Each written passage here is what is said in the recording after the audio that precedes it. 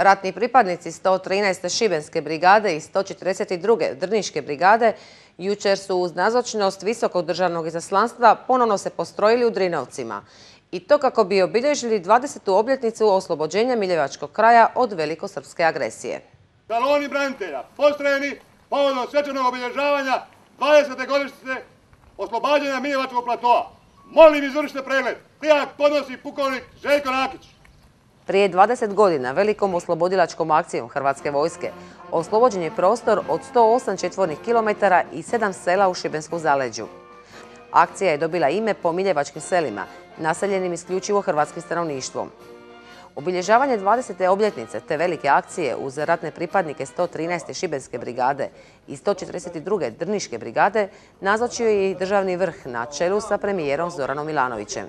U svom je govoru premijer Milanović ustvrdio kako je to bila jedna od najvećih akcija Domovinskog rata, kojom je Hrvatska vojska pokazala da se ravnopravno može nositi s neprijateljem i osloboditi svoju državu u njezinim granicama.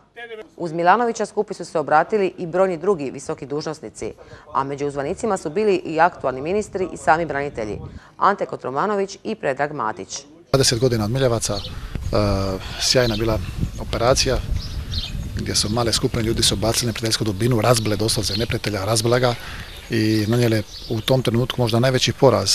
Apsolutno, u tom trenutku je to bila jedina prava organizirana e, operacija gdje je stvarno, gdje je stvarno nanesen veliki poraz Mladiću i Kninskom korpusu i zaslugom 142. brigade i 113. brigade ljudima koji su učestvovali i.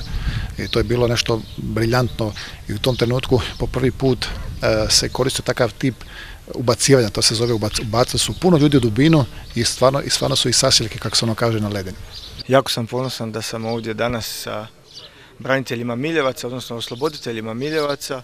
Ovo je 20. obljetnica, veliki jubilej, mi smo tu, Ministarstvo branitelja je tu da to obilježi dostojno i ovako kako, kako je to ovaj narod i ovi branitelji su obilježili. Vidite se da je danas je ovdje i predsjednik vlade. Možda se nekome čini nevažno, ali da kažemo kakav je odnos Hrvatske vlade prema braniteljima. I sjednica vlade koja je trebala biti danas je pomaknuta i održana je jučer kako bi premijer mogao danas biti ovdje i izraziti svoje poštovanje i zahvalnost prema hrvatskim braniteljima, osloboditeljima Miljevačkog platova. Tijekom svečanosti zaslanik predsjednika Ive Josipovića, načelnik glavnog stožera Drago Lovrić, je operativno zapovjedniku akcije Miljevci 92 Kruni Mazulinu uručio povelju Republike Hrvatske za poseban doprinos u Domovinskom ratu. Nakon odavanja počesti i polaganja vijenaca služena je misa zadušnica u crkvi imena Isusova u Drinovcima. Koncelebrirano misno slavlje predvodio je biskup Šibenski monsignor Ante Ivas.